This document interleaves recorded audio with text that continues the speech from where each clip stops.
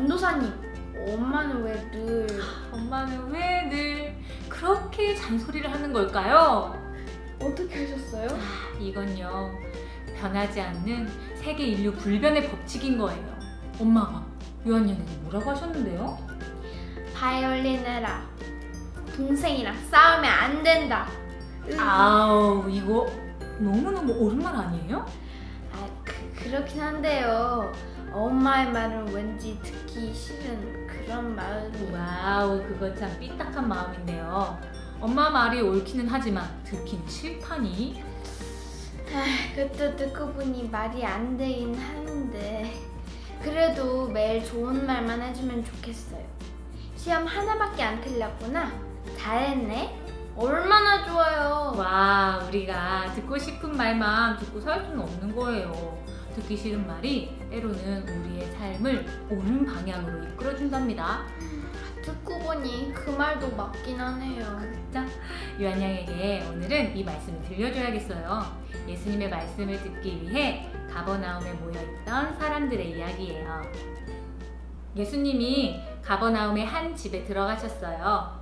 이 소문은 퍼지고 퍼져서 사람들이 그 집으로 다 몰려들었죠. 예수님께서는 이 세상에 오셔서 말씀을 가르쳐 주시고 아픈 사람들을 고쳐 주셨어요.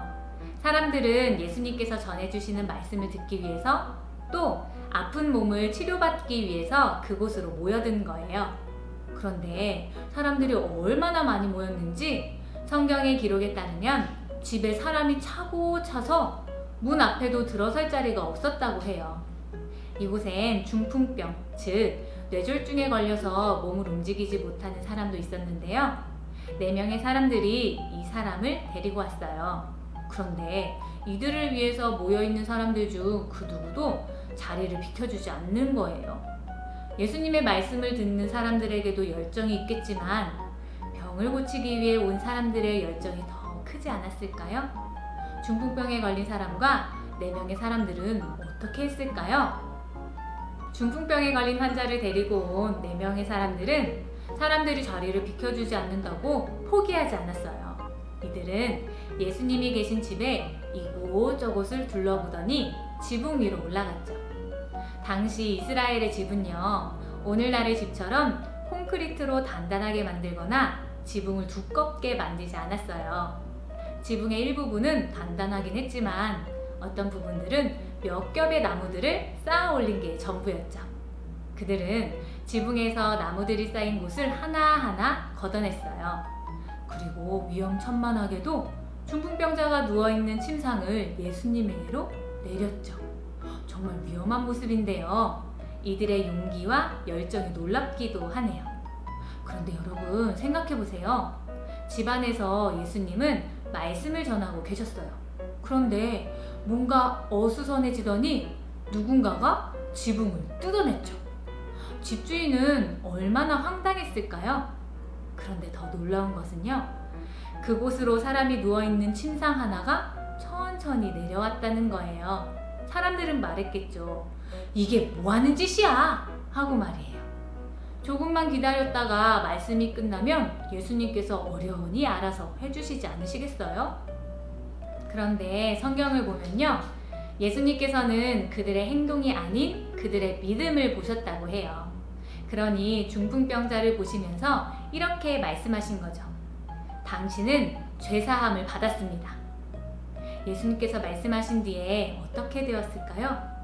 정말 놀랍게도 너무너무 조용했어요. 아무 일도 일어나지 않았거든요. 그곳에 있던 사람들 중에 예수님의 말씀을 들으러 온 율법학자들은 속으로 생각했죠. 어? 저 말은 너무 위험한 말인데? 하나님 외에 누가 죄를 사할 수 있단 말인가? 하고 말이에요. 예수님께서는 사람들이 조용한 것과 생각하는 것들을 아시고 그들에게 물어보셨어요.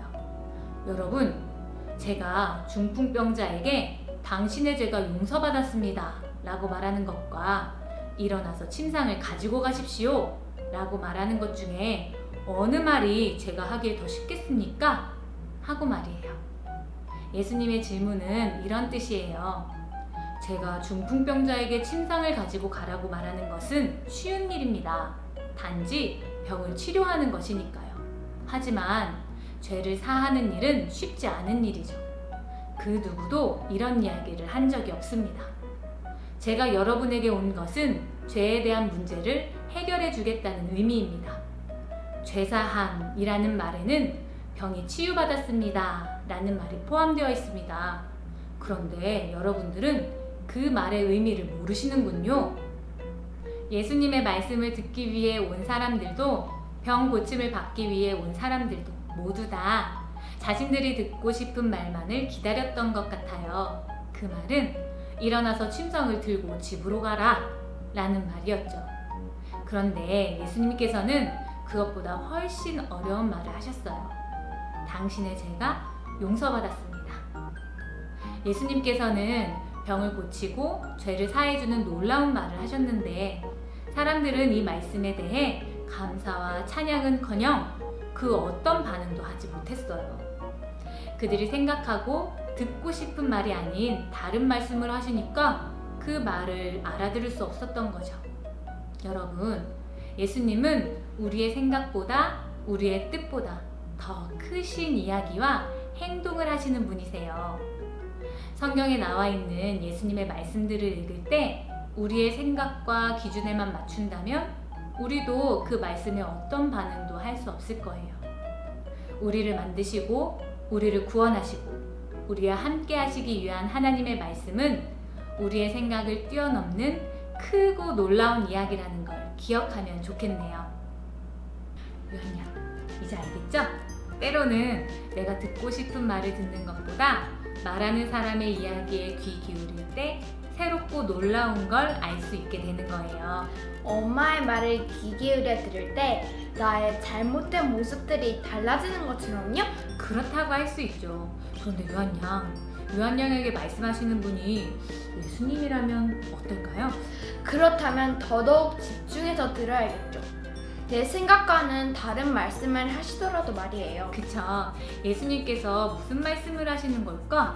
왜 이런 말씀을 하시는 걸까? 하고 생각해보면 우리의 생각을 뛰어넘는 크고 놀라운 이야기를 경험하게 되는 거죠.